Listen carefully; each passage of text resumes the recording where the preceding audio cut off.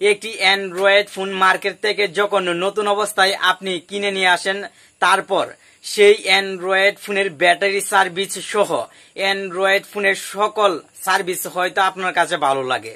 কিন্তু প্রবলেম হচ্ছে কিছুদিন একটি অ্যান্ড্রয়েড ফোন ইউজ করলে সেই অ্যান্ড্রয়েড ফোনের র্যাম দেখা যায় অনেক দ্রুত ফুল হয়ে যায় এবং র্যামে অনেক জায়গা থাকা সত্ত্বেও অ্যাপ ইনস্টল করতে প্রবলেম হয়।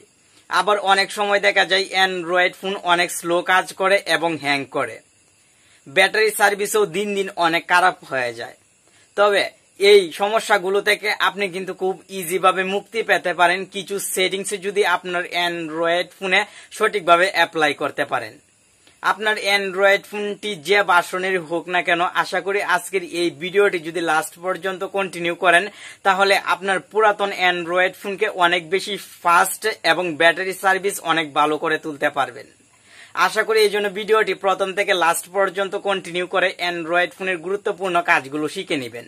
সেই সঙ্গে এখনই আপনার অ্যান্ড্রয়েড ফোনে অ্যাপ্লাই করবেন। হ্যালো ফ্রেন্ড আপনি দেখছেন প্রতিবারের মতো টেক অন বাংলা চ্যানেলের আরও একটি ইন্টারেস্টিং এপিসোড আর এই সম্পূর্ণ ভিডিও জুড়ে থাকব আমি আপনার বন্ধু নাসিম। ইটস ওকে চলুন, এখন অ্যান্ড্রয়েড ফোনের খুবই প্রয়োজনীয় কিছু সেটিংসের সাথে পরিচিত হয়নি আশা করি এই ভিডিওটি আপনার কাছে অনেক ভালো লাগবে। প্রথমে আপনি আপনার অ্যান্ড্রয়েড ফোনের সেটিংসে চলে যাবেন।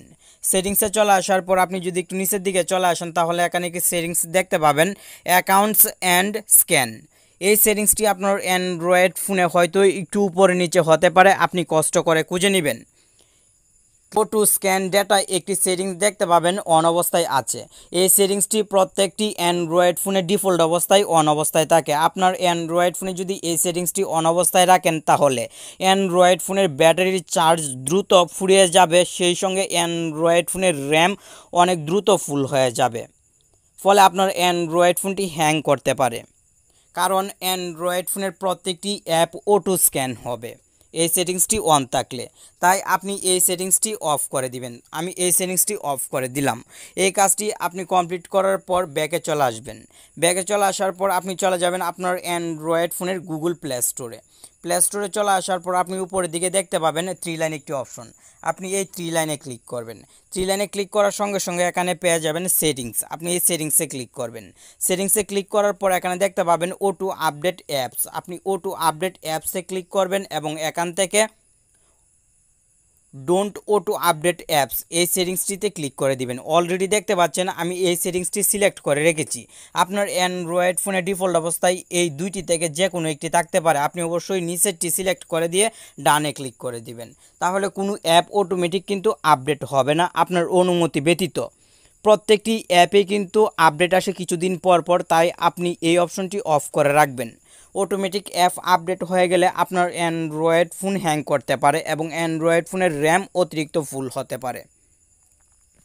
ব্যাটারি সার্ভিস যদি ভালো রাখতে চান, তাহলে অবশ্যই অরিজিনাল চার্জারের মাধ্যমে অ্যান্ড্রয়েড ফোন চার্জ করার চেষ্টা করবেন এবং বিশ পার্সেন্টের উপরে যখন আপনার অ্যান্ড্রয়েড ফোনের চার্জ থাকবে, সেই সময় চার্জারের সাথে কানেক্ট করার চেষ্টা করবেন। আপনার অ্যান্ড্রয়েড ফোনের যে ব্যাটারি সেভার অপশনটি আছে, এই ব্যাটারি সেভার অপশনটি ইউজ করতে পারেন যে সময় আপনি লং জার্নিতে থাকেন। এখান থেকে আপনি ব্যাটারি অপটিমাইজেশন এই সেটিংসটিতে ক্লিক করে দিলেই ব্যাটারি সেভার অপশনটি পেয়ে যাবেন। এই অপশনটি অন করে দিলে আপনি দীর্ঘক্ষণ অ্যান্ড্রয়েড ফোন ব্যবহার করতে পারবেন।